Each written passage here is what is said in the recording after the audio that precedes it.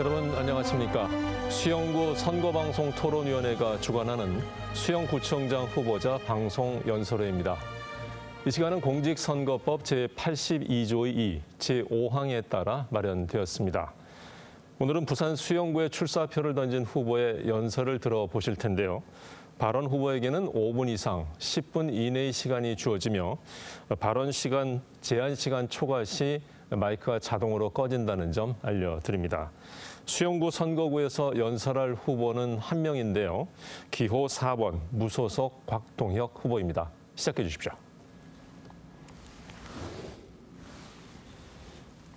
존경하는 수영구민 여러분, 안녕하십니까. 수영구청장 후보 기호 4번 각동혁입니다. 수영구민 모두가 지난 2년간 코로나로 힘든 시간을 보냈습니다. 특히 수영구는 관광도시이며 상업도시이기에 그 어느 도시보다 코로나의 상처가 더욱 컸습니다.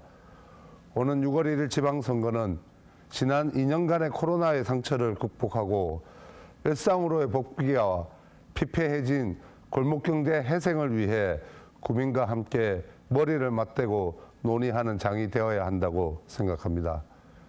그러나 많은 후보들이 쏟아내는 공약에도 불구하고 지방 분권과 자치 그리고 지역 경제에 대한 진지하고 열띤 토의는 찾아볼 수 없어 안타까웠습니다.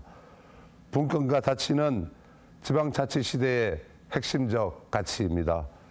그러나 정당 공천이 중앙 정치의 힘의 논리에 의해 작용할 때 지방 정치인은 중앙 정당의 하수인이 될 수밖에 없습니다. 지방 분권은 멀어지고 중앙 정치에 더욱더 종속될 수밖에 없습니다. 존경하는 수영구민 여러분, 지난 4년 부산시의원으로서 부산시 지역화폐 동백전과 골목 상권 활성화를 위해 노력했습니다. 동백전을 도입하기 위해 시민사회단체와 함께 1년의 기간 동안 공론화하였습니다. 도입된 이후에는 제도의 개선과 정착을 위해 노력하였고 67억이라는 운영 예산을 절감하기도 하였습니다. 지역 경제 회생을 위한 의정 활동은 동백전으로 그치지 않았습니다. 코로나와 같은 외부 충격에도 흔들리지 않는 지역 경제를 위해 대형 개발 프로젝트와 대기업, 대기업 유치에만 의존하지 않고 지역의 잠재된 힘을 기반으로 연대와 협력을 강조하는 지역 재투자 조례를 전국 최초로 제정하기도 하였습니다. 짧은 4년의 의정활동이지만 시민의 실질적인 삶의 변화를 주는 성과를 만들었다고 자부합니다. 그러나 이러한 성과에도 불구하고 저는 국민과 당원에 의한 경선 한번 치르지 못하고 공철이 좌절되는 아픔을 겪었습니다. 그리고 험난하고 어려운 길이지만 무소속을 선택하였습니다. 존경하는 수영구민 여러분, 제가 고민하고 제시했던 정책이 우리 수영구 지역경제 회생의 길이라는 확신과 고여있는 정치 세력의 변화 없이는 수영의 변화를 기대하기 어렵다고 생각했습니다. 옳은 길이라면 주저하지 않았던 저는 험난하더라도 이 길을 가겠다고 결심하였습니다. 존경하는 수영구민 여러분, 수영구의 지역경제 활성화는 골목 경제 활성화에 있다고 생각합니다. 강한대교 앞에서 펼쳐지는 불꽃 축제와 매주 토요일 펼쳐지는 드론 쇼를 보기 위해 많은 사람들이 모입니다.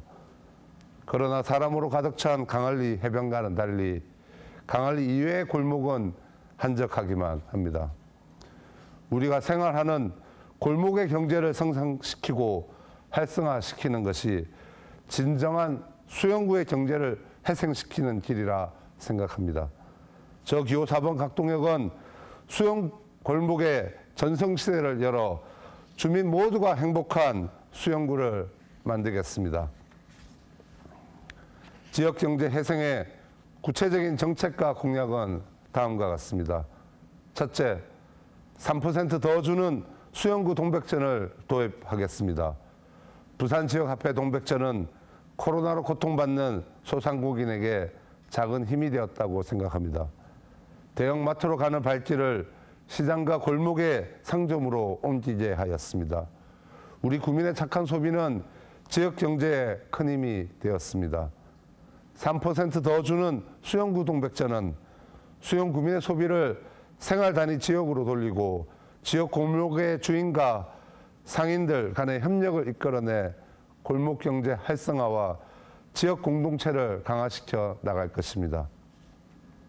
둘째, 수영구 금융 약자를 위한 지역 공공은행을 설립하겠습니다. 수영구 예산과 기금으로 만들어진 지역 공공은행은 청년과 자영업자 등 은행 문턱을 넘지 못하는 금융 약자를 위해 소액 대출과 보증 서비스를 제공할 것입니다.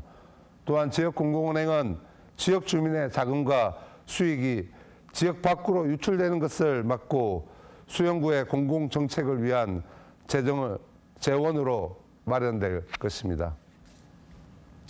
셋째, 골목 경제 활성화를 위해 골목형 상점가 등 골목 상권을 10곳 이상 조직하고 수영구청 등 수영구에 있는 공공기관의 지역기업 제품 구매 비율을 높이고 공공성을 더욱 강화해 나가도록 조달 체계를 개선하겠습니다. 넷째, 수영 강한역 지하 상가를 청년들이 모여 희망을 만들어내는 소셜 벤처 혁신타운으로 공공개발하겠습니다. 수영구가 풍요롭고 활력 있는 도시가 되기 위해서는 청년이 미래를 꿈꿀 수 있는 공간을 만들고 지원해야 됩니다. 10년 넘게 수, 영 강한역 간 지하 상가는 문을 열지 못하고 닫혀 있었습니다. 저는 이곳에 부산시와 수영구의 행정지원기관과 공유오피스, 공연시설, 그리고 민간 상업시설이 어우러지는 곳으로 만들어 나갈 것입니다. 이곳은 수영구 경제 성장의 엔진이 될 것이며 수영구의 센텀이 될 것입니다.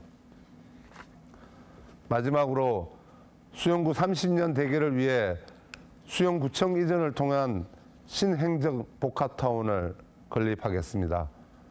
행정 서비스의 중심인 구청의 기능은 문화와 구민 편의적 공간으로 그 기능이 점차 변해가고 있습니다.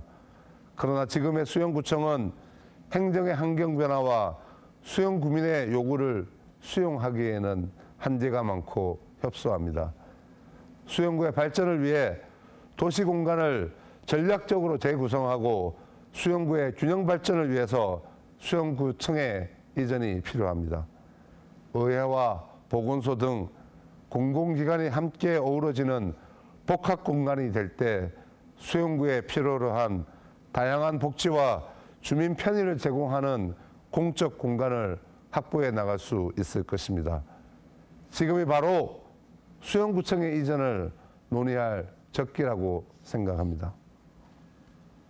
수영구민 여러분, 수영구는 삼포 지향의 아름다운 도시일 뿐만 아니라 조선 수군의 경상자수영과 임진왜란 때 이름 없는 민초들이 향전한 25의용사단이 있는 유서 깊은 곳입니다. 수영구 골목골목에는 갤러리와 공방, 서점, 아름답고 특색 있는 카페와 맛깔나는 식당이 있는 가능성 많은 곳입니다. 수영구의 가능성을 현실화시킬 수 있는 것은 리더십입니다. 그러나 수영구의 정치는 고인물과 같습니다. 변화 없이 안주하고자 하는 사람들에게는 혁신의 리더십을 기대하기 어렵습니다. 구청장의 역할은 매우 중요합니다. 수영구의 변화를 만들어내기 위해 창조적 아이디어와 젊고 패기 있는 새로운 리더십이 필요합니다. 혁신적인 변화를 가져올 수 있는 사람이 구청장이 되어야 합니다. 기호 4번 각동역은 새로운 리더십으로 수영구의 변화를 이끌어 내겠습니다. 패기와 열정, 창의적인 아이디어로 수영구를 변화시켜 나가겠습니다. 존경하는 수영구민 여러분, 여러분이 저에게 던지는 한표한 표는 사표가 아니고 빛나는 수영구의 변화와 희망으로 여러분 앞에 다시 돌아갈 것입니다. 꽉 잡아 주십시오. 수영구는 달립니다. 감사합니다. 네, 지금까지 수영구 선거방송 토론위원회가 주관하는 수영구청장 후보자 방송 연설회를 시청하셨습니다. 오늘 연설회는 중앙선거방송 토론위원회 홈페이지와 유튜브 그리고 KBS 부산 유튜브 채널에서도 다시 보실 수 있습니다. 이 시간이 다가오는 사전 투표일과 선거일 투표에 도움이 되셨기를 바라면서 저는 여기서 인사드립니다. 시청해주신 여러분 고맙습니다.